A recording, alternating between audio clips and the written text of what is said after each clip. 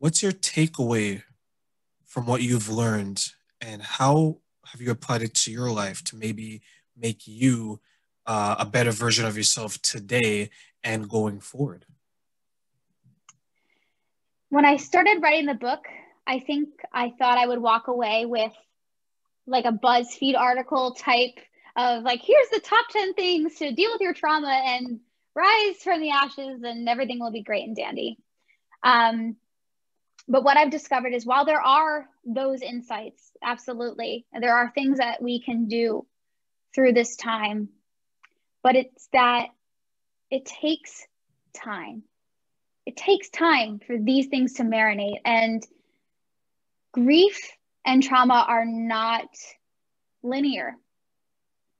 And so some it, sometimes it can look like a spiral staircase, right? And you might need to look over on this angle and then build up a few more pieces there, or you might have to go back down and glue down the, the squeaky floorboard on the stair below you. And that is okay. And I think in my own challenges that I'm going through right now, I haven't given myself that time. I just want to skip right through the grief and get to all of the great post traumatic growth part. but that's not how this works. And we have to give ourselves that grace and that space to grow. And I'm not perfect at it. I'm still learning in this way. But I think I'm able to wake up each morning and say, you know what, I'm at this point in my grief journey, and that is an okay place to be. And we're just going to keep walking through it. Um, I think there's a, a, Winston Churchill quote. It's like, um, if you're in in hell, don't stop. You know, it's like, why would you stop? You know, I have no choice but right, just keep going. Get out of there. Don't stay in hell. and so that's what I just have to remember. It's not always going to be like this it's okay. Where I'm at is okay, but we're gonna keep going and we're gonna get through it. And I will I will piggyback off of that when it, when you mentioned that um, finding the time to um, go through the grief and, and stuff like that, right? And I was speaking to someone about this very topic, and they mentioned that sometimes what they found in their personal experience and their personal journey, as we're talking about that, is that when they prevent them when they prevent themselves from finding the time to deal with maybe the grief or the anxiety or some of the issues they went through it was their way of not acknowledging it because at that point in time they didn't have an answer or solution for it. Mm-hmm. Is mm-hmm. that how you're feeling with um, why you're not giving yourself the time because it seems like you have a lot on the go and you just talking to you're very organized in your thoughts. But is that maybe the reason why you haven't given the time? Because you're like i have this situation but i don't know if i have the answer yet so let me mm-hmm. put it to the side Pause. and come back to it. That's interesting. Um, I, I think i'll need some time to noodle on it. Um, to see but I, i'll be i'll have to come back to you and tell you i think for me one of the bigger challenges i have is that I hold myself to a certain standard and way of things. And for a long time, I have been told that I am a certain thing.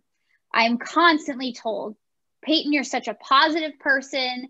Um, I think even when I'm telling people about something challenging I'm going through, I'm usually smiling, which makes them believe like she's not actually upset about this. She's fine. Um, and I've taken pride in being the positive person to a fault. And so when people say you're the positive person, I've tried to fit myself into this positive person box. When Payton really is much larger than the positive person box. I am sad, I am happy, I'm excited, I'm scared, just like every other human being. But because I've been labeled in this way and allowed that to impact myself, I don't give myself space to feel any of those things. And so I constantly want to push them out and say, and make judgments about how I'm feeling or dealing with where I'm at. Um, and so once I realized that no, no, there's more to me than the the positive box, um, I think I was able to really stretch my wings literally and um, and get myself out of that mindset and give myself permission to feel everything that I'm feeling. And what I call that, um, because I'm very similar, like high energy, having a good time, I call that the burden of positivity. And the yeah. reason why I call it that is that when you're when you are that positive, happy, bouncing off the walls person, and your friends get and the people around you know you as such, they don't expect you to feel any other way. Mm-hmm. Right? You can be having because they come to you for that energy. They yeah. come to you for that smile. They come for you. They come to you for comfort. And sometimes the people who are like you and I, sometimes we hurt much more than other people because we don't know if we have the capability to go to someone and say, Hey, I just don't feel like myself today because of this. Because in the back of our mind, we're probably thinking, I go to someone with my problem, are they going to think it's serious enough because I'm always happy? Right.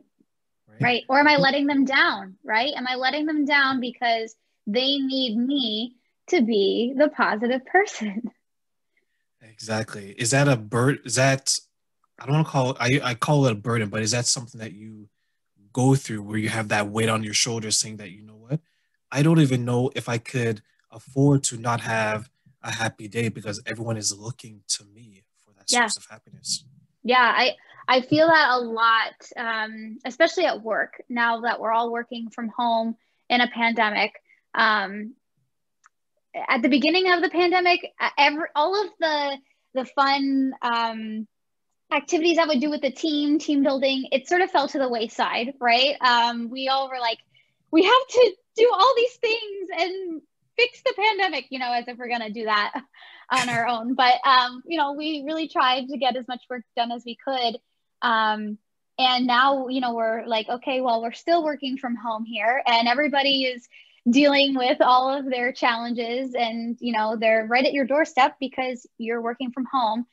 Um, and people started coming up, you know, to my virtual doorstep and saying, hey, like, are you to start doing more of that fun stuff you used to do? And, you know, you're to come on camera so we can see your smiling face. And while I'm honored and touched that, you know, they, they look to me as that, um, sometimes I can't put my camera on because I I need to feel what I'm feeling, and that could be a distraction to what we're doing um, on the call. And uh, you know, they deserve that space to deal with what they're dealing with in this time and so do i and and so you're right it does feel like a burden sometimes to to carry that label um, and oftentimes we're designed as care the caretakers too right we want to help others and take care of others. Well what about us when we need to be taken care of? And so um, it often does get neglected